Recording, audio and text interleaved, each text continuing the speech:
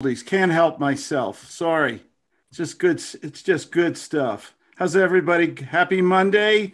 I'm up here in the uh, mountains. I'm back in Colorado, and I wish I could show you outside here.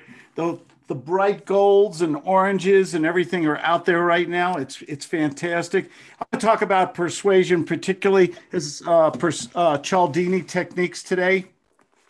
Um, has everybody has everybody read Dr. Cialdini's book, Influence, The Psychology of Persuasion? It's a very good book. Uh, you know, it, it's a really good book. The first thing he talks about is uh, in the introduction. I can admit it freely now. All my life, I've been a patsy. For as long as I can recall, I've been an easy mark for the pitches of peddlers, fundraisers, operators of one sort of another. Truly, only some of these people have dishonorable motives. The others, representative of charitable agencies, uh, for instance, have the best of intentions. Why, why is it that a request stated in a certain way will be rejected, while a request that asks for the same favor in a slightly different fashion will be successful? Read this book if you haven't already. It's fantastic.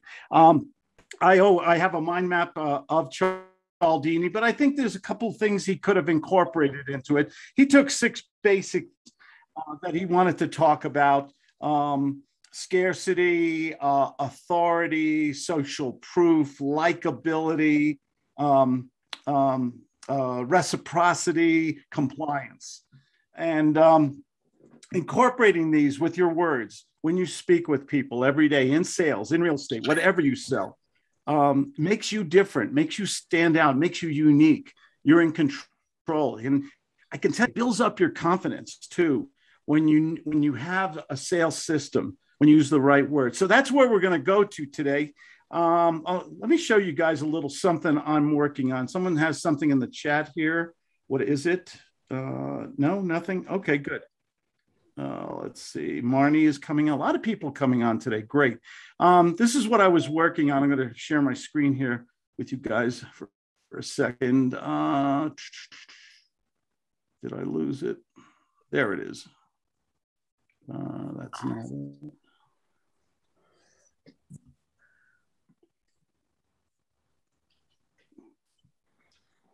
Can you guys see my screen? Yes. Anybody see my screen? Thumbs up. Okay, thank you. Is something I was working on. It. Have you guys ever worked a um, a word cloud? I took the word persuasion or sales, and I thought of all the other words that I could put it that in my mind define uh, relate to the word sales and persuasion, and made up this little. It's called a word cloud. And um, anybody have any suggestions that I should add to this word cloud? I have uh, compliance, persuasion, sales, suggestion, power suggestion, influence, convince, wealth, negotiation, bargaining, and guts. I put in every word I could possibly I could possibly think of. Anything missing? You guys are quiet today. What's going on?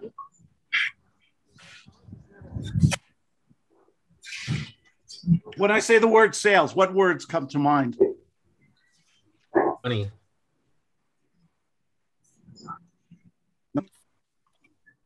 Unfortunately, some negative words. really? Oh, that's that's true. What about the? Uh, well, you say the actually more more Im- images of who is a salesperson. You know, right out of the chute. Not not related to this group. It it really depends on the, I guess, on your perspective. Uh, I love sales. Sales has given me a great life. It has given me freedom. Um, it has given me confidence that I didn't have at one time in my life. It's given me great things. I guess if you go to a prospect and you say the word sales, though, what what is that? What is, what do you think that really means to them? What do you think? What do you think comes to mind? Pressure. Pressure. Not a lot of negative words, right? Yeah, obnoxious manipulative, overpowering, right? I mean, I think I'm the only father in the world. When I when my kids were born, I said, "Hey, uh, uh, gee, I hope they grow up to be salespeople because I I kind of like it." I kind of like to have this power of uh, suggestion and influence with people. Getting someone to see your your side it's of the your story. superpower. It is a su- it is a superpower. It- it's a wonderful superpower. It can make you um, it can make you stronger.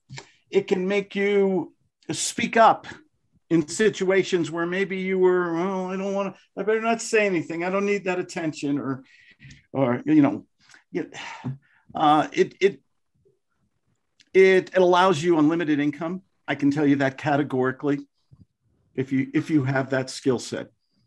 Absolutely. So I guess depends on who you speak to about it, right? Definitely can be negative words. Let's uh, let's do a little open forum here, and then we're going to talk a lot about uh, Dr. Dini's um, different psychological triggers of persuasion and how we. And I have a wonderful mind map here. In fact, let me uh, get it right now. Have you spoken Uh, with him before, Claude? Um, I heard him speak live. I did not get to speak with him personally, but I heard him speak live many years ago, 20 something years ago. Um, he's got some, thanks for reminding me though, David. Uh, he has wonderful uh, uh, video on YouTube. Uh, for those, um, I just put the mind map link. I did a brand, I did a, I took another mind map I had and I updated it and added a lot of new content. And the link is in the chat box for you early, for you early birds here um, if you'd like to see it later. It's good to have these reminders. I like using mind maps. I like I like using word clouds, uh, th- uh, things like that. Um, they just they just help me to keep things in perspective. Something I've been something I've been using a lot lately is um, uh, I don't know if you have it in your Android.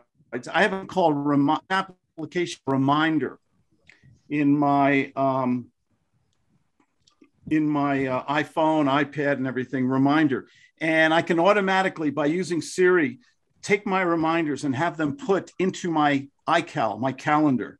So I'll just say, "Hey Siri, um, remind me to call Bill Pinnell at 12:30 this afternoon," and put it in iCal. And boom, it'll just put it in my calendar, and then it'll send me a notification reminder on all my devices that are synchronized. It's it's pretty handy. I, I do a, on a daily basis, I do a things to do list, but I'm starting to digitize that because I always have either a watch or a phone or something like that in my hand. We forget things. Good morning, everyone. So um, let's go to open forum. Anybody have a question um, or, or a deal or something like that? Uh, raise I your just- hand or hit the little button.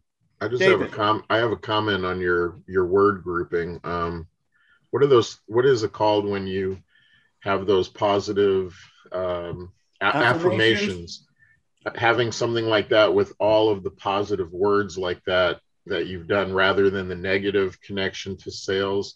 If you have that in front of you, if you look that over on a regular basis, those positive words become subconsciously connected to your image of what you think of yourself or you think of sales in general. So those positive words stay in your head rather than the negatives as an affirmation. Sure. Positive affirmations are good, but going, uh, Brian Tracy used to say, how many people here like Brian Tracy? I, I really, I think Brian Tracy's psychology of success and is, and sales, he, he did a very good one on sales, but his psychology of success audio, um, it's old and it's, it's phenomenal. If you've never heard it, uh, listen to it. It's, it'll give you goosebumps. It's so good. And he says one thing that I kind of disagree on. He says that every morning you should say your positive affirmations to the bathroom mirror before you start your day.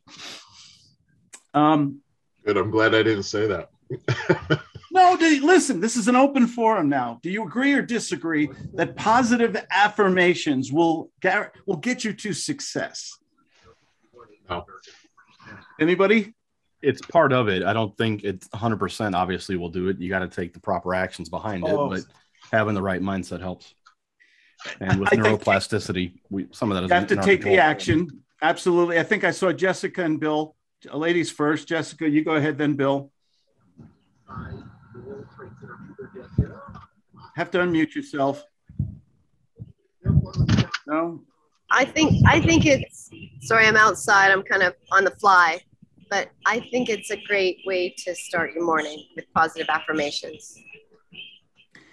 I find that exercise and up music make me feel good and get me to take action. Who said action? Bailey before. You've got to take action. Yeah. What is the what we what is the thing that's going to get you to um, the best positive result? Making a sale, right? How how do we feel when we make a sale, Bill Pinnell? Awesome. Very excited and going to the bank. It's it's like the second best feeling in the world, isn't it? Yep. Yeah, John Andrus will later on have a Zoom room and tell us what the first What's is. the first? Okay. Chocolate? What, what was that? Eating chocolate? I would say eating chocolate or uh, is probably number three or four. It's got to be right up there. I know what you're thinking. You're oh dangerous. He dangerous, said that. dangerous. Wow. I think Bill, go ahead. You had a question. No, I was just going to say when you asked, you know, the positive aff- affirmations, I think it's got to be accompanied with positive action because that's what has to.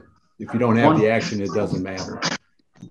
What when you make a sale, when you when that affirmation that leads to action, which leads to positive results, hopefully. What does that do to reinforce your confidence, your ability to, to do it over and over again? What happens? Don't you have to get the results eventually, Yeah. Bill? Yeah, it starts snowballing. You just it starts you uh, build up more confidence, and you just start increasing. Um, you're excited to get going and do it again and again and again, and that. Well said. Builds I- momentum. Momentum. Moment, Yep. you've got to have that momentum and you've got to get to the results, the positive results. You got to get the commission check, you got to get the sale, the contract, the appointment. You've got to see positive results. This is why I'm so big on sales because I think you go out there, you study, you knock on a million doors, and you're not getting positive results no matter how many affirmations you say. If you're not going to the bank eventually, after all the time, trouble, money, and work you do, what happens? You fail. Lose, lose interest. You lose. Momentum decreases. Yeah. You quit. Yep. You've got to see some result. Because once you see those results, that reinforce, wow, it really works. It, it's got to work. Does it have to work reasonably? If you go three months before you make a sale, selling um, selling your um, Pillsbury Doughboy collection, okay, Woohoo. I love this guy. Look at that belly. Um, what what? Go ahead, Jessica. Oh no. So I, Oh, I was okay. just I- Put something in the background there. Um, I think you got to get to the results. And that's why I'm always talking about sales, what questions, role playing. I role play you guys to death. But by the way, role play Wednesday. I don't know, Justin or, or I'm going to do role play Wednesday uh, um, on Zoom. Uh, that's at zoomjustin.com. I, that's at one o'clock. Uh, one uh, is it one o'clock Eastern Daylight Time, um, and that's always fun. But you got to get you got to eventually reasonably. Let's use the word reasonable. Get to those results. Make a sale. It just re it just makes you want to make more calls, more appointments, do more marketing because you're rewarded for it. We've got to we've got to create incentives, and we've got to get there eventually it, it just you know can imagine when you make a sale you're meeting nice people you're enjoying the conversation. And and work is stops becoming that four letter word. It just becomes something enjoyable to do.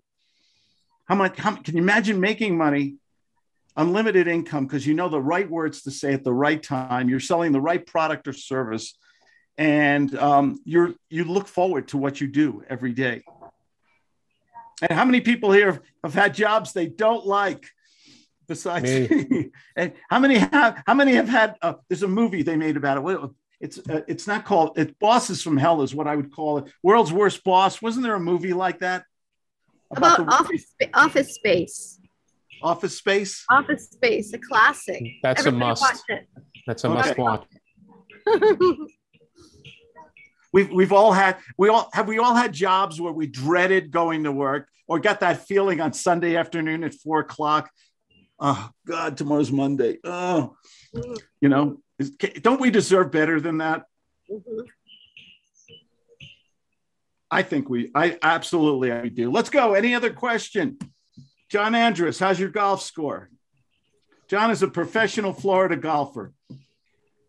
You're you're you're muted, buddy. Okay.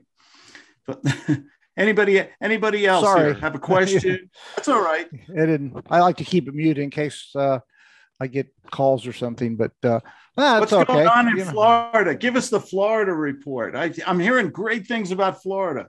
Yeah, I wish no one found out about it. I'm down in Naples, uh, and it's uh, Yeah. they're built. I don't know. It's just crazy what they're building down here. It's uh, you know, 40 years ago when I started coming down here, it was a lot different, but uh, it is. It's really, uh, really booming. Too many people are finding out about it.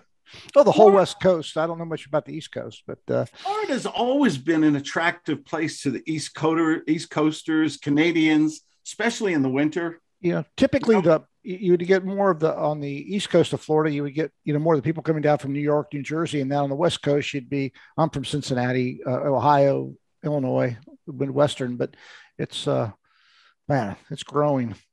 Got an, I think another congressional district or two. Uh, by of course, we have no no state income or yeah, no state income tax. It's great.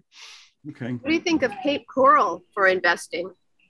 It was really good for a while. I mean, I think everything's so high now; it's hard for me to get my head around it. You know, uh, the prices. So, um, it, yeah, I'm very close to Cape Coral, but yeah, it's. Um, I'm I'm waiting for a, a chink in the armor to do something because we've heard that for years. Yeah. Though. Chink in the armor. Why? yeah, Why is real estate? I mean, I, I just heard of a couple that uh, moved. They're moving to Las Vegas. I think Vegas has had a hundred days of Jessica. You have a place in Henderson. I think they've had a hundred days of over uh, um, uh, a hundred degree weather or something like that. This Yeah. no, it was Henderson and Summerlin are growing, yeah, it's amazing and. growing very quickly. Real, Yeah. uh, but real estate used to be a bargain in Florida, in Las Vegas, in a lot of different places. And what, what's going on? What's the culture shift we're seeing? Alex, you you see in Colorado what's going right now. I mean, it- it's amazing. I've got builders up here in a little mountain town. The houses are sold before the first nail is in. Yeah. And, I, I'm talking about five hundred thousand dollar and up starting homes. Wow. I told you, I told you guys, I, t- I said it about my friend of mine who bought a home for a half a million dollars three years ago. She just sold it for 960, three years, almost doubled her money in three years. Right home, right place, right price, right? Yeah. What do we, what do we know? Hervik, what do we know about real estate on a long-term basis? that it's uh, it's always going to trend upwards. Always, like. always. I mean, it's going to have its ups and downs. Eventually, eventually it trends up. Historically, I Yeah. guess. Maybe right home, right, right home, right place. You will never get. I had this conversation with my son. I, I was in Fort Collins yesterday, um, and uh, we had talking about investing in stocks and things like that. What is absolutely the best investment you'll ever make in your own in your life, financially? Your own home. Your own home. Your own home. Your own your own home. Right, uh, right home in the right place. You get an extra hundred bucks that month. Throw it against the principal. So instead of paying for twenty five years, you knock it down to seventeen. Instead of going out to dinner, throw another two hundred dollars against the principal. Instead of buying another big screen TV, throw five hundred dollars against the principal. What happens to the amortization?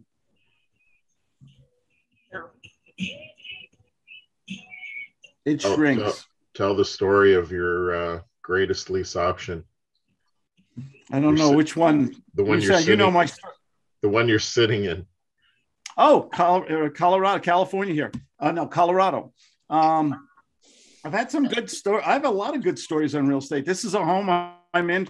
Uh, we got it for three hundred thousand dollars on a lease purchase, five thousand down.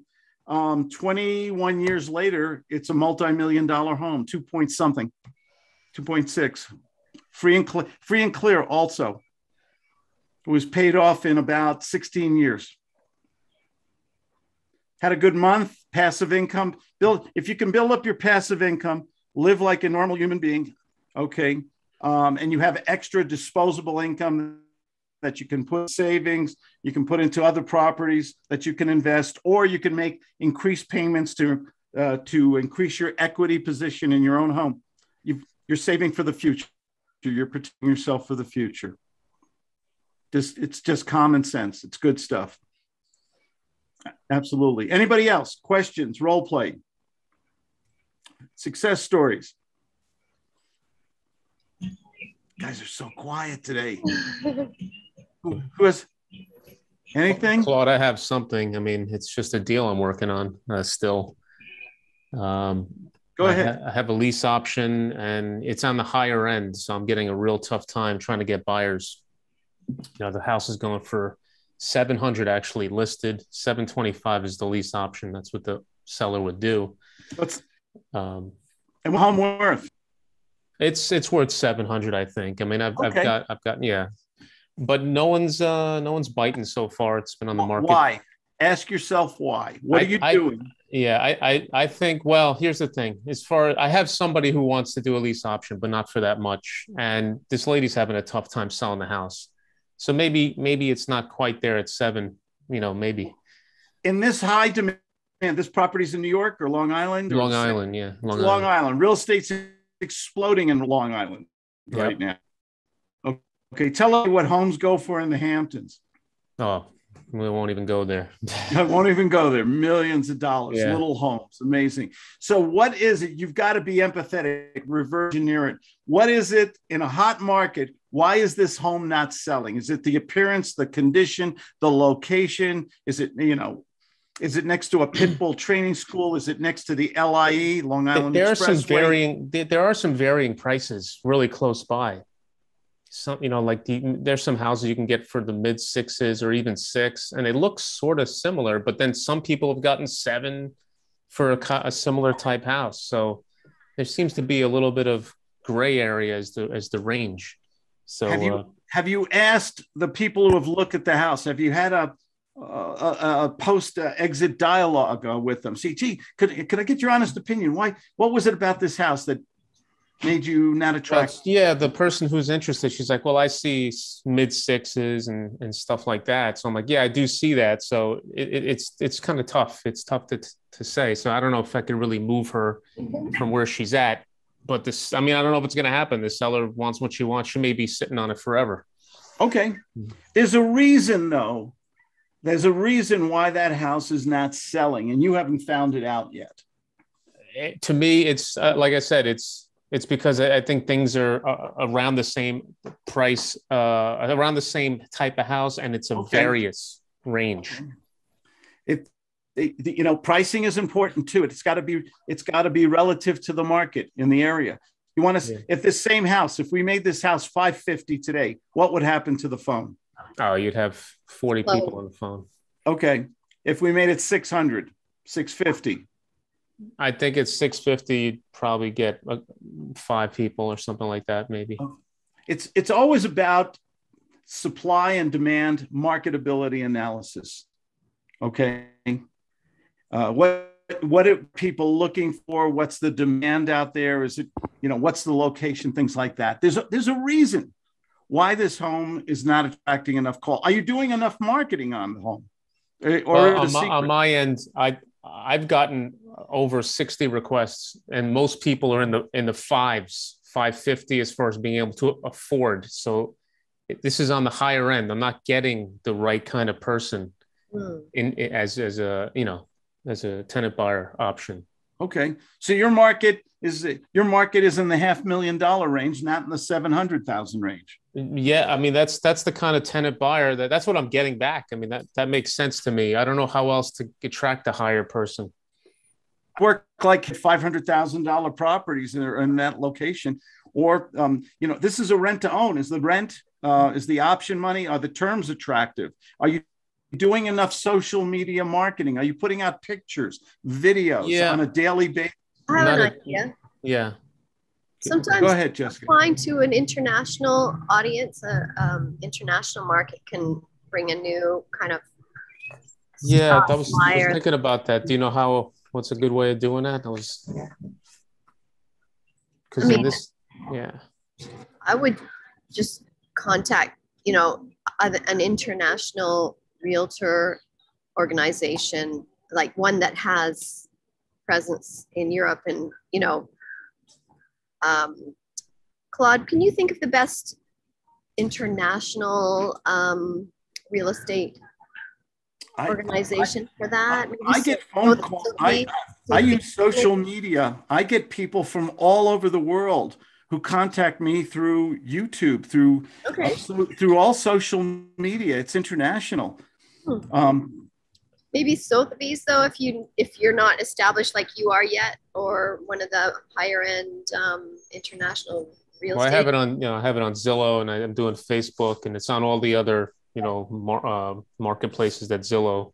Uh, I would I would. Google international um, international real estate sales and see who comes up and contact them. You're strictly doing a, a lease purchase on this property, though. Something you've got to go back to the drawing board and ask yourself why you're not attracting the right people. Is it the pricing, the location, or the way the property is? It, you know, there's a there's a reason why yeah. you're you're not getting the right people. So I suggest you go to that. Hey, I want to talk about uh, persuasion and influence today, particularly uh, uh, Robert Cialdini. Um, let me share my screen with you guys here right now.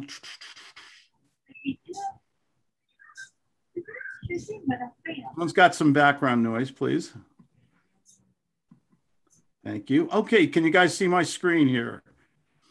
Here's the book. Uh, by the way, uh, you can listen to the audiobook. I, it, it used to be on YouTube. Um, and there's some good, also, there's some good um, uh, speaking engagements by Cialdini um, on YouTube. Let's let's go to the uh, let's go to the top here. His first one, um, reciprocity. What do you what what is reciprocity? It's asking something back. You give something to the prospect. Uh, listen, be glad to answer your questions. Uh, I'd be glad to send you that information. I'd be glad to send you a contract. But could you do something for me, please? Could you do me this small favor? It's like getting an IOU, isn't it? Yeah. Okay. Do you think do we do we use reciprocity enough? I don't think we do. I think we get in this little honeymoon phase with people and we don't ask them when we're in that special honeymoon phase, we don't ask for this is when we we should ask for something back. Um, Mr. and Mrs. Prospect, I so enjoyed our conversation. Could you do me a favor? Could you get me back that a contract today at 4:30? Could you do me that uh, on or before 4:30? Would you would you do that for me, Randy? Would you while you're while you're eating that breakfast in front of all of us? You didn't bring that. You didn't bring enough for everybody, though, did you? Nobody brought me a bagel with uh, lox and cream cheese this morning. See, the te- the teachers did influence you when you were a kid. Now it's stuck in your head. Oh yeah, I, I'm easily. I am the easiest person in the world to sell. Why? What makes a prospect easy to sell?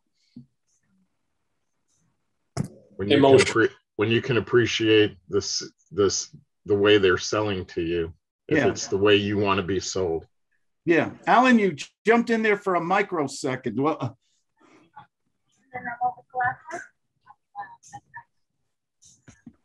no, okay. Oh, I said emotion is what makes somebody easy to sell. I'm so easy to. If you get me to like you, if you get me emotionally involved, you tell me a story. I get away. I always tell this.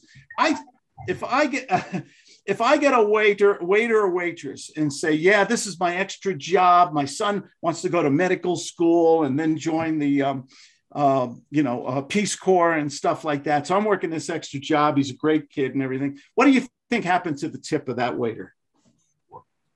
Goes up. up. do do we love to reward people who take care of us or we feel uh, empathy we understand what they're going through we see they're working hard okay Yeah. Yes. what what i'm going to sound a little chauvinistic here we do when we have a hardworking pregnant waitress an obvious pregnant wait, waitress we give a big tip don't we yeah. Mhm. Yeah, I, I, you guys know my one story here. Um, I, we, uh, I, I was uh, going out to uh, lunch with my wife and a couple friends, and we had a, a very young woman uh, with a protruding belly. And I said, "When are you expecting?" And she said, "Expecting what?" Oh no. I get that a lot. Uh, don't ever, don't ever say it. Dave, don't ever Dave do said he that. gets that a lot. I get I get that I get that every week. my friends, this is years ago. My friends still teach uh, tease me about this. Claude, don't ever ask that question ever again. Right. Right. Unless you're hundred percent positive. positive, and I thought I was, uh, but say Oh, next yeah. story. So I, I, reciprocity. I get that. I get that from the waitress. even more important than getting people to repay you uh, because you did something for them or you asked a favor or you got an IOU or you you go, hey, could you help me? Mr. and Mrs. Prosper, could you help me out? Could you do this one little thing for me? Um, yeah, boom. A- it can't hurt to ask. Asking is almost like making an offer sometimes Mhm. it can lead to closing it can lead to an offer scarcity number uh, cialdini has six big things reciprocity scarcity um, social proof authority and liking. I have a few others that i'm going to teach you guys today that we're going to talk about also. Uh, scarcity that's a biggie. Scarcity. Um, when they when we say scarcity uh, we mean there's a limited supply or we have limited time.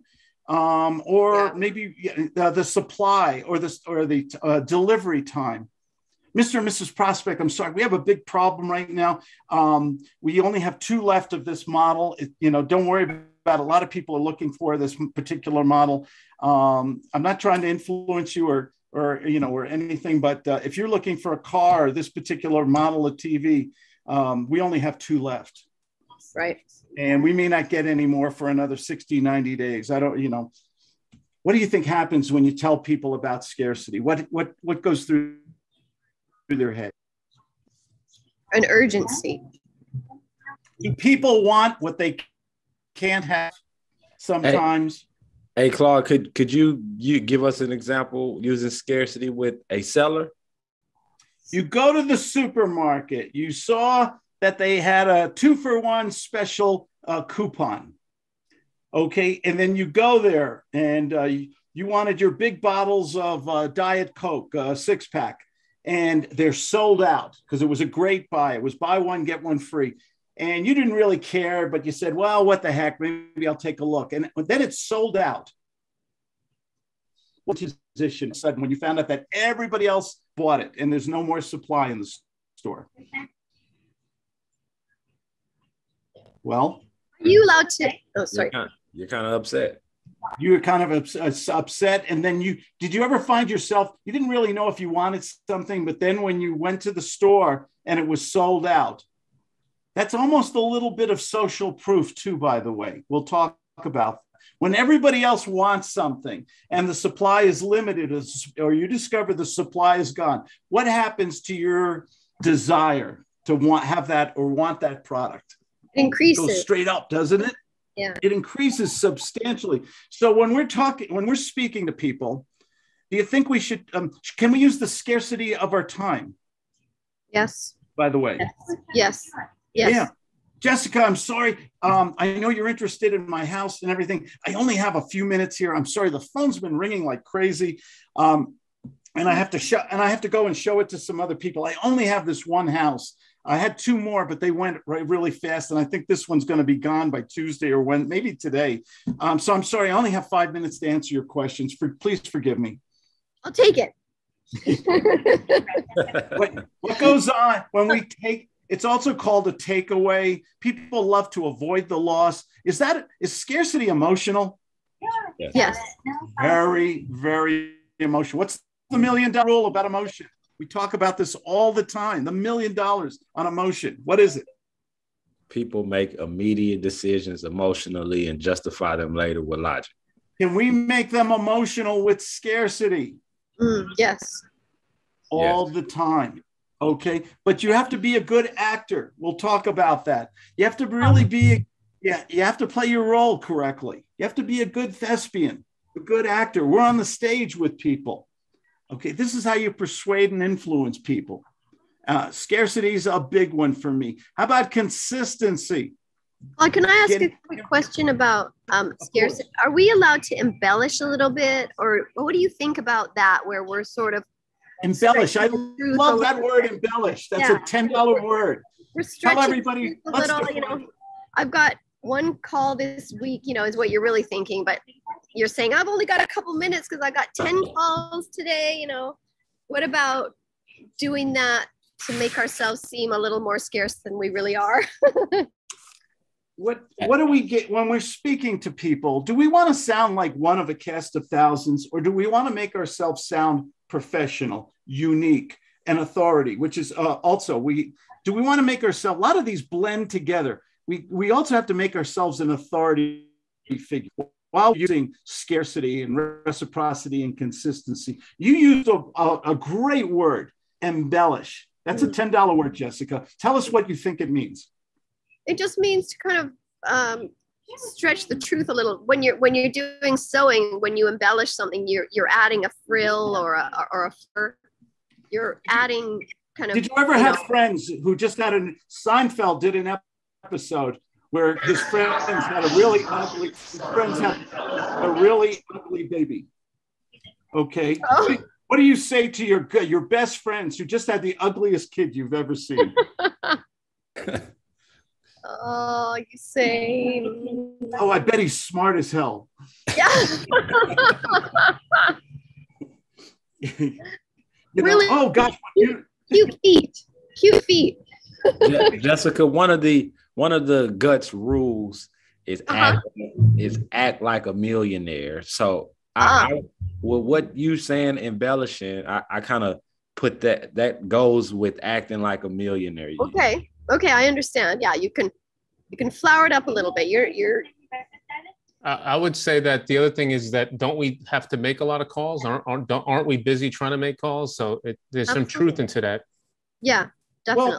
Well, just means you're putting a positive spin on it. You're not lying. I don't consider embellish right. lying. I don't think you should lie. Right in sales because if you lie you're going to get caught you're going to get caught you're going to embarrass yourself you're going to customers it's not the way to sell but when you tell us something when you tell a story about a product or a service when you paint a picture in their mind is that publishing jessica i could see you and your significant other in this home by the pool here and you you are just going to have so much fun you're going to be in, you're going to be in one of those inner tubes on a nice sunny day and you're just going to be enjoying each other, drinking martinis or margaritas and the pool, everything. Sun's out. It's going to be a rainbow in the sky, and and yeah. unicorns will come visit you. Is that embellishing? wow, I'll take it. yeah. um, I don't have, a problem with embellishing because you're putting the you're putting a positive spin okay. to, um, to create demand. Okay. Now you can go. It comes in degrees. Great question, by the way. Excellent question. I, lo- I love that. Anybody? Uh, so consistent. We were talking about consistency here. Can we get people to say yes? Uh, we call these micro commitments. I think I, I did a beer with Claude on micro commitments a couple weeks ago. What happens when we get people to say step by little bitty baby step yeses? Yes. So, I, you know, oh, do you see yourself in a home in the next 30 days? Oh, oh yes. Oh, you haven't discuss this with your banker or mortgage broker, right? Uh, have you just have you thought about what kind of down payment? You know, you're getting them thinking, asking questions, and getting a little. Yeah, if you found the right home that met with your budget on a timely basis, yeah. How would you feel about that? What would you What would you do next? Oh, you know, we'd be, uh, you know, yes, yes, yes, yes. What happens when people consistently say yes? They're on a roll. You're on a roll, and when we get to the big question, Jessica, uh, Alex, both Alexes, Dave, what would you like to do next if we could solve this problem in a timely manner that works with your budget and would solve all your problems and remove all that pain? What would you say to me next? Yes, let's do it. Yes. You got to get into that ha- positive habit of asking those kind of questions. Getting the yes, if they say, what does that tell you right away? No, I haven't looked into my finances. No, I don't know if I have a down payment or option money. What does that tell you when they say no? What should you be doing? Getting off the phone. Or, or maybe you get off the phone. If they don't have the money and don't have a willingness to talk about it, I'll agree with you, Mr. Skolnick. Yes, change, your, change your tack so that you're going to get some yes answers. Like, yeah, if you're talking about money in the beginning, and you're getting obfuscation, another $10 word, or you're getting someone uh, who doesn't want to talk about the money, should you just go on to your show presentation?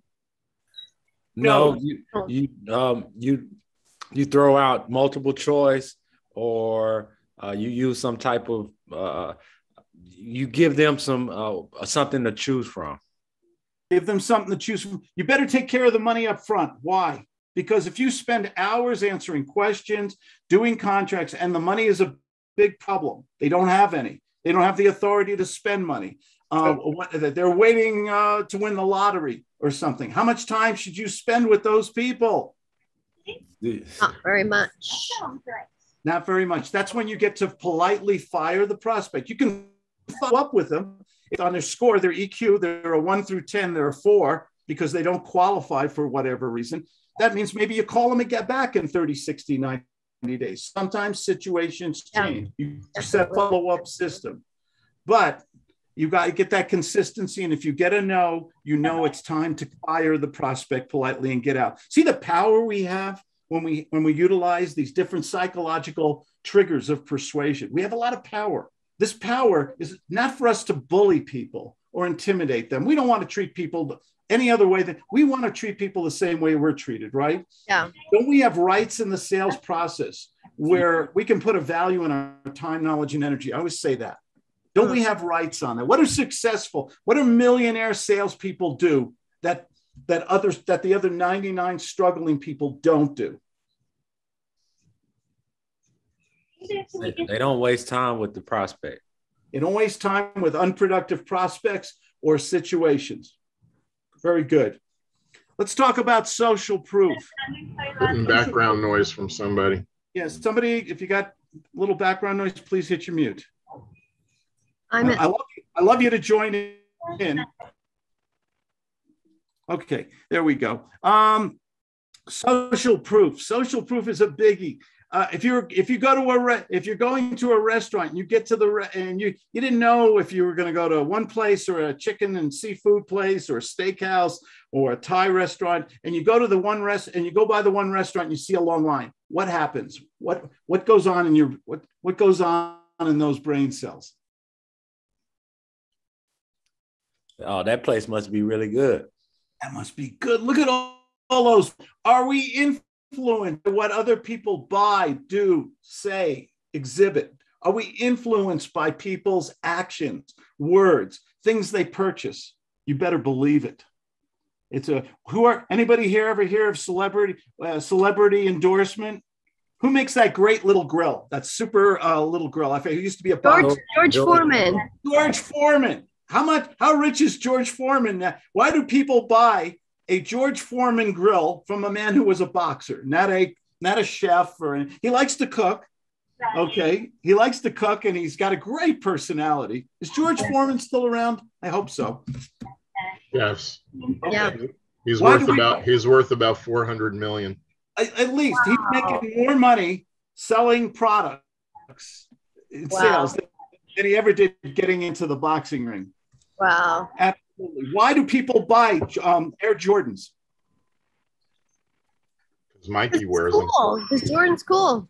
Yeah, because Michael Jordan wore them, right? Great Yeah. basketball. Run faster and jump higher. Right. Oh, so we are like we PF Flyers. are we influenced by celebrities? Uh, absolutely. We see them all the time on packages and things like that. They're like a Um, role model to us, right? Uh, Role models Claude, too. Claude, I got a quick question. Go ahead. Could you, could you give us another example with using social proof with a seller? Like you're trying to buy a property from a seller. Mr. Seller, do you know why I'm successful? Do you know why I, I buy and sell a lot of houses? Why I'm driving that nice new uh, uh, XT8 outside your house? Do you know why? Uh, I, I don't know. I, Take a, take a guess. You're a smart man. uh, well, I, I assume you're really good at what you do. I'm great at what I do, and I take care of clients, all my clients. And you, I'd, I'd love for you. Go. Would you like some? I know you're shopping around for the right realtor, right investor, right consul- consultant, right insurance agent, right finance manager right now. Would you like to speak to some of my customers and find out why uh, they they constantly give me referrals, new customers, and why I do such a successful business? Would you like to find out why? Absolutely. Yeah. That, And, be and after you speak to them today, what happens at our Zoom meeting at 4:30 this afternoon if they meet your expectations about the way I do business? I, you know, I, I think we have a deal. Think if everything if if everything checks out, Claude, you seem like a great guy. You know, I thank we, you. We appreciate that.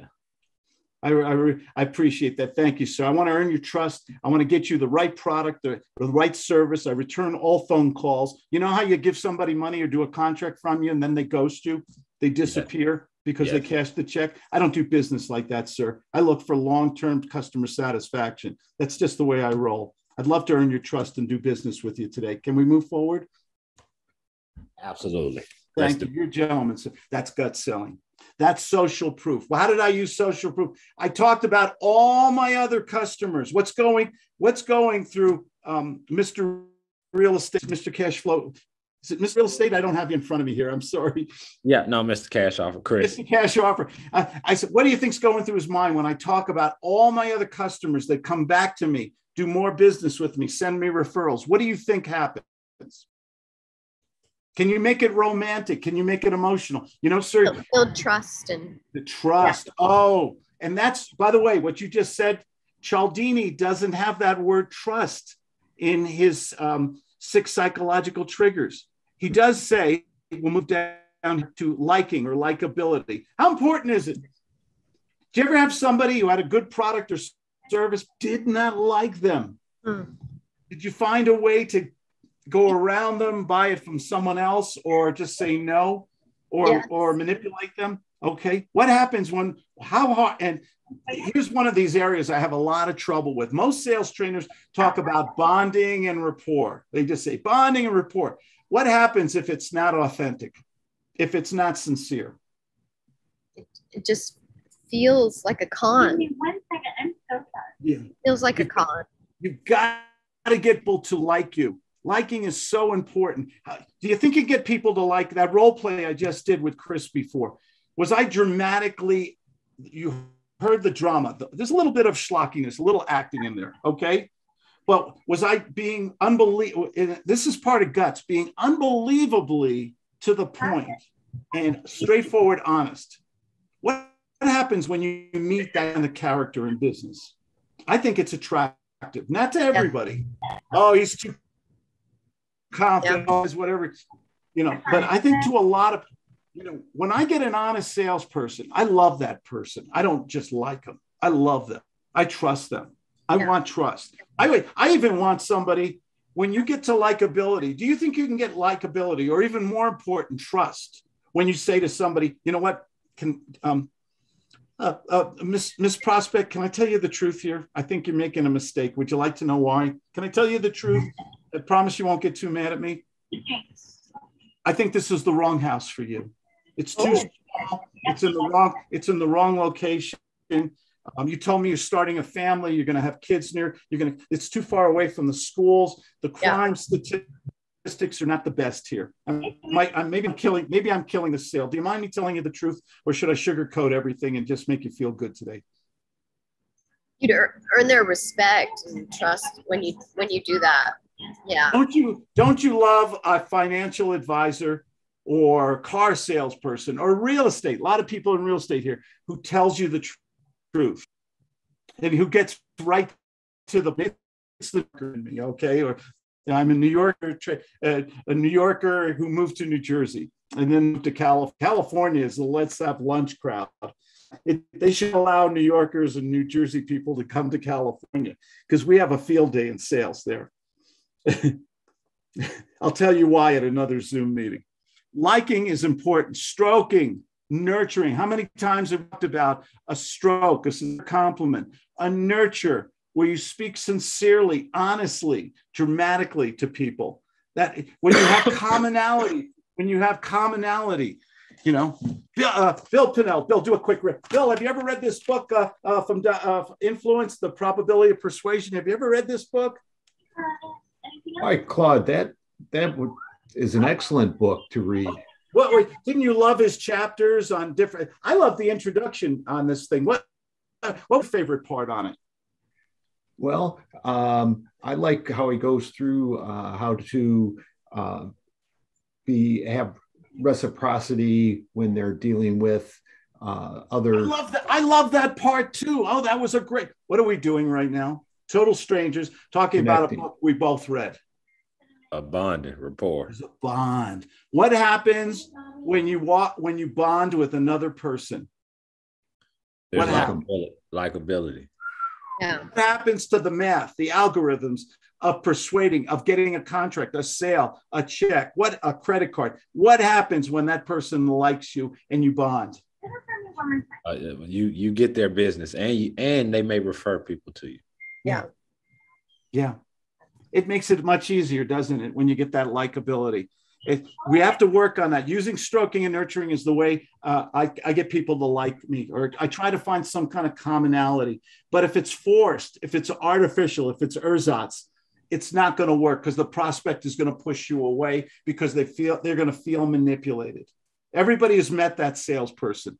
Absolutely, absolutely. What did we? Uh, authority figures. Let's. Uh, that's the only one. I think that's the last one left here from Cialdini. Authority figure. Why is that so important in persuasion when you're speaking to somebody? Why should you take that role of the authority? You want them to feel like you know what you're talking about. You've got experience and and you're, you know, in the know and the wiser for advising them. Yeah, uh, one of my favorite lines. Jessica, can I tell you the truth, or should I just make you feel good today? Just make me feel good. be an authority. Jes- Jessica, you know what? I've been doing real estate for years, and I think I think the, on this particular deal, we should struck. You're not sure how long your company is going to keep you here, which I would recommend in your best interest that we structure it as a two-year rent to own, which means that uh, in the next 24 months, if you know your company is going to keep you here, you can buy the home. But if not, if they move you to somewhere else, is does that make sense? I hope you don't mind me speaking so direct to you. No, I know most people would rather just sell it to you, but I want to make sure you do the right thing here. Right. Thank Cool. you. When you go, when you speak with an authoritative tone, what is an authoritative tone? Anyone? Like a doctor, like you know what you're talking about. Yeah. Exactly. Is that does an authority figure sound confident? Yes. Yeah. I can, if you're taking notes, one of the most important words in sales, in persuasion, is confidence. What happens? Well, I don't, um, well, um, gee, um, Randy, I don't know if it's this is gonna work. Uh I've never done this before. They say I, I read it in a book somewhere. I'll give it my best shot. What's what happened? Is that an authority figure? Is that what an authority figure sounds like, or someone who's a little bit wimpy? Mm-mm. Wimpy. Yeah. Do we? What do we say to that person who's a little bit unsure or un, uh, uh, is is not being totally direct and honest with us, using their knowledge and, and everything? What What do they say? I'll think about it. I'll get Uh, you. send me some. Go ahead, Jess. Oh, I was just saying, I'll get back to you. They say, you know, I'll get back to you.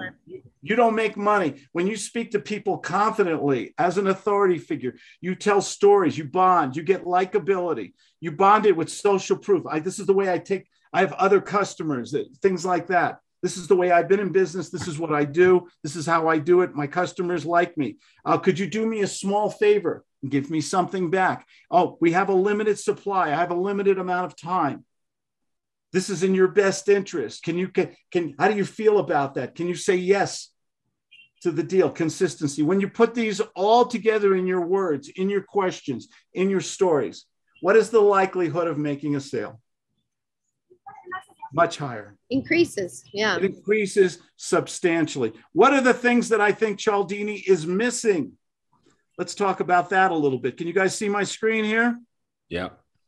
Okay, uh, these are some of the things I wrote down. Um, I, I think different. We have to rec- recognize different ego states in people: the, the adult, the child. I've talked a lot about Dr. Eric Berne, games people play. I'm okay, you're okay. There are different ego states. Ego states are very emotional. You want to recognize that if the, is that prospect a child are they um, are they a parent where they're either nurturing you or very critical to you, or are they an adult? They're non-emotional. Uh, they want a nice adult to adult dialogue. Don't we love those when we're talking with people and there's that mutual respect and we're making a connection, don't we love that? Do we have to recognize the state where the prospect is trying to bully us or act immature or manipulate us? We've got to recognize these different emotional states. I could do a seminar just on that alone. Uh, we need to, Cialdini doesn't talk about it, but we we have to, I got a spelling error there. I hate that. Uh, we have to, we have to create different emotional states. Back to that million dollar rule. Who said it earlier? People make decisions emotionally when they get emotionally involved. It's the million dollar rule. If you just give them features and benefits and intellectual gobbledygook, you're going to get, I'll think about it. All day long. And they're just going to compare apples and apples all day. But when they get emotional and you bring in all those different eh, things that we spoke about today, your chances of closing go through the roof. Storytelling. Why are stories so important in sales, in persuasion, in getting people emotional? Uh, it helps them feel the pain of yes. uh, what they need, that greed or fear. Yeah. Yeah. We have to be a thespian, an actor. We're on the stage with somebody. Are we responsible for not get we want to keep ourselves i have it down here controlling your emotions. We want to make the prospect emotional. We can't get emotional. Do we play a role not to be manipulative or controlling but to get the prospect comfortable? Should we play that role? What, what kind of personality does a prospect in your business ask yourself this question what is the personality that that prospect is looking for in order to do business? I'm looking for someone i like and someone I trust and someone who speaks straightforward to me. When I get somebody who dances around a question or obfuscates the question or doesn't acknowledge a good question or doesn't say thank you to me, by the way, how important is it to say thank you? Recognize things like, you know, great question. Thank you for asking. Oh, I love, you know, so important to be a good actor in sales, to play the, even if you're having a bad day, and you and and that prospect senses you're having that lousy day. You're going to make a sale. How does someone how does someone successful sound when they're speaking to a prospect? What does a successful happy person sound like? Hey let's dance. Let's have some music. Hey how's your day going? I'm having a great day. Why are we talking today? Let me if you got a problem uh, tell me about it. Maybe i'll offer you a few solutions. I, maybe i can help you okay? Genuine and confident confident, genuine. I like that word. You got good words today, Jessica. Thank you. You're a wordsmith. Always good words. Words are so important in prosperity. Yeah. Words are words are you got to be a wordsmith. Yeah. The right words at the right time, the right stories, the right questions can make you wealthy beyond comparison. Anyone else? It's about the right words at the right time. Uh, vanity. Do you think we should talk to people about vanity? Is that I threw that in there. When you go to somebody, if you were selling cars, what you just say, and you're selling brand new, beautiful Lexus cars or or something like that, what do you think you should say to that person? How do you how would you affect People someone? appeal to their vanity. It's okay. You you would look beautiful in this car. This this Oh, would I? I don't know. I've always been driving. You know, I've been driving my little uh, explode on rear impact Pinto here. Uh, um, sometimes people don't like to get in the car with me, though. this would just complete your look. This beautiful new Tesla in red. Oh yeah, it doesn't have a. It's not. A, it's, it's not a convertible, is it? We do a convertible model. Yeah, absolutely. Oh wow, yeah. Tell people, you know, using that vanity. Is that is vanity in sales important? You better believe it. How about Dave uh, Skulnick brought this up in in the Skype group? Feigning ignorance. Is that a cycle is that a way to get closer to a sale? Should we answer every question they give us? No. Brandon carswell what do you think? Should we answer every question i know every question you're going to answer. Ask me mr carswell or should we use three words once in a while? Never answer any question all the questions they give you. Ask ask questions ask questions. What's the best answer to a question? A question. You know the, you know the answer, but you want to get more information. A question. What, what's those? What's my three favorite words? I don't know, Claude. What what should we say? See, he- he's using my own shit against me. I love it. Uh, act, act, act ignorant. I don't know. Act ignorant.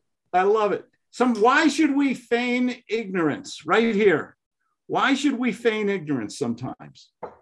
Aren't we salespeople? We're supposed to know all the answers to all the questions. Why would it be strategically to our advantage to say, I don't know? Great question. Oh, Alex Galgulian, great question. I'm I, now, Alex, I don't know. I'm not sure if I know what you meant or uh, what. Why did you ask that particular question? Great question. What? Why did you ask that one, Alex? It must be important to you. Help me out. Just show, show we're human, maybe, or Alex, Yeah. I know it's it's a great question, Claude. I don't, I don't know. Well, wait, you brought up about price. You have a budget for anything in you. A lot of times when I buy something this expensive, I think about what it's going to cost me per month. That's not something you're considering, right? Uh, yeah, actually, um, the finances is important to me. Uh, You know, good for you. Finance is important. Do you have a, a round numbers 500, 750, 1,000 a month for this brand new Lexus? Um, yeah, I'm, I'm thinking about uh, 600. 600 a month. Yeah. I, I'm not saying I can. I, I got to talk to somebody. I'm not sure. But if if we could get it close to that 600 or less or $2 more, if I could get it somewhere in there, how would that make you feel? Well, yeah, that's that's what I was looking for. Yeah, that- And, and if we could get that within your budget, the right car, so that you make more money and you're sa- uh, as a realtor, as a salesperson, and it works within your budget, over you know, um, what would how would you feel about that? What would happen next? I, would say yes. Yeah, let's go. I'm sorry, what?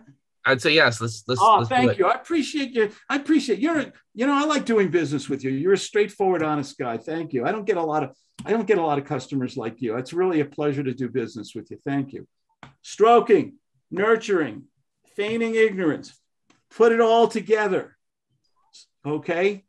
This is how you get people to yes. You've got to control your emotions sometimes. What happens when we get, pardon my language, when we get pissed off, we get a we get this nudnik, this irritating, this this this person, this uh, what do we call them? A, a gadfly. You know that fly that that keeps buzzing around your head and you keep swatting it, keeps following you no matter what. Did you ever get a customer like? Did you ever get a prospect like that? Randy's shaking his head while he's driving there. I know he has. Have we? What should we? When we get somebody who, who we don't like, how should we act? Tough question. Somebody else speak. Somebody who hasn't uh, uh, spoken up before. Hervik, you jump in here, buddy. What happens when we get a client we don't like them? How should we act? How should you act when you don't like a client? You don't like them, but you're yeah, you don't like them. They're irritating, they're annoying, they're disrespectful, but you're close to making fifty thousand dollars, but you don't like this. You don't like this person. Should you get emotional? How should No, you? no. You, you gotta just suck it up, suck it up, and stay focused. Because what happened? Because what happens after you make that sale and you get that fifty thousand dollar commission check? What happens? All that stuff goes out the window. It all goes away, baby. Who really wins when you control your emotions? And maybe I'm not saying that someone who goes, I mean, really rude or something. Like sometimes you got to step on their toes a little. You know, I've had people who said things inappropriate, and I, I told them, I said that, you know, that's uncalled for. That's unappro- That's inappropriate. Let's uh, let's not use that kind of. Let's not use that kind of politics or statements or things like that. It- you- there's a this is a time and a place to do that. But if you're hungry and you got bills and you just got someone who's just plain annoying, Yeah, What do you gotta suck it up, stay Suck focused. it up. do what You're here to do. I, I like that. I like that. How important is trust? We talked about that earlier. Cialdini doesn't talk about trust as much. He talks about he talks mostly about uh, likability there, liking. I I think what happens when we get trust. Do if we get trust, is it over? What happens when you has anyone ever here met a salesperson or a professional and you trust them implicitly? What do you do with the information or the products or service they're trying to sell? What do you do? You just go with it. You sign or you do whatever. hmm They have credibility. Trust is where you should. That, trust is the mountaintop. likability is how you get up there. But if you can get to the big Mm. T, once you get trust, it's it's a blank check. Absolutely. Should what about confidence? We talked about that earlier. We're going a little bit over here. Um, conf- how important is it to have confidence in sales? Do we like? I like confident salespeople, not braggarts, not braggadocio. I, I, not somebody's trying to play, try and top this. But I like. Do you like people who speak assertively to you about a product or service or whatever you're interested in? I like confidence in salespeople. Why is that? because you know they believe in what they're saying. You know, you know that they're 100% sold on themselves already. They're so They're, they're sold already, so it's easy for them to sell you because How you, about how about this word, Claude? They're knowledgeable. knowledgeable is good but i'm going to some when they have confidence or let me use another word when they have passion when they say you know what? You know what? Um, uh, mr and mrs prospect i bought i have i bought the same product and i love it. It's great. I wouldn't sell it to you if i didn't use it myself. That's how good it is. I just sold one i just referred one to my mother-in-law. And you know i want to make sure she's in a good safe car. And you you're you guys are looking for a car that's attractive that's in your budget and you have three kids okay? I want to put you in a nice safe car just like i did for my for all my customers what is that? When you speak a try, like that with that kind of confidence i think it uh, with that kind of passion. Assertiveness, assertiveness, assertive assertive i don't know if that's a word. Help me out. Is that assertiveness. assertiveness. That's it. That's it. That's the word. Also, we're, we're out of time here. Um, one of the things I'm working on is altered states, power of suggestion, uh, painting stories and pictures in their in people's minds. Uh, things like using the five senses that we talked about: smell, taste, touch. Putting putting that picture in their mind into their subconscious. Can that have an influence uh, on the on this on persuasion? You better believe it. And I I think I'll for another time. Um, did we learn? Was this okay today, guys? Was this a good topic? Yes. Great yes. topic. Great topic. Thank you. Thank you. We went a little long, but I wanted to share this with you. Everybody have a wonderful, any, well, last minute, la- one last quick question before we go. Anything else before we go? We got a lot of people on here today. Yeah, just Um, on in the, the, go ahead. I'm sorry. no, on a side note, I was asking what what mind mapping software is that? I, I like I like the way that that that uh The, your the mind, your mind mapping stuff. I, I like how you did that. The mind map is in the chat box, and I'll also post it in the private Skype group we have. Uh, you can download it uh, online. I use a system called Mind Node, N O D E. I love it. Uh, all my mind maps. I'll show you when when we close out here with the music. I'll I'll show you all my mind maps that I've developed with this Oh, one cool. simple piece of software, and I can do it on my I can do it on my iPad, on my iPhone. It's, and it's not expensive. It's it's very. I forgot what I paid for it, thirty five dollars or something like that. And how we'll do um. I think maybe next week we'll talk about mind mapping and things like that. Ooh. I, I think it's important to. What happens when we have that great idea, and we don't write it down, or we don't put it in a mind map, or, a, Lose or something? We lose it. Could be that one idea, the battery powered car. You know, it could be something. Is something great. That's why I, I, it's like I can see your thoughts like evolving, how, how you break stuff down and how you get so much clarity, and how you you know I I, I can see- I, I see that in your mind. I'm like, wow, that's, that's phenomenal. And that was a wonderful stroke, Brandon. You really learned well from today. so thanks a lot. I'll show the mind maps as we close out. Everybody, um, have a wonderful, safe week. Uh, enjoy. We're getting fall here, man. All these golden and red leaves out here in Colorado right now. It's really beautiful. Have a good week. Sell something. Speak to five people today. Ask, you know, make sure. Uh, make sure you're using all the different techniques of persuasion that we uh, that we discussed today okay? Because nobody deserves success more than you good people. Claude Diamond saying goodbye. Have a great week. Hey, Claude. Yeah, We're gonna do a little. We're gonna do a little.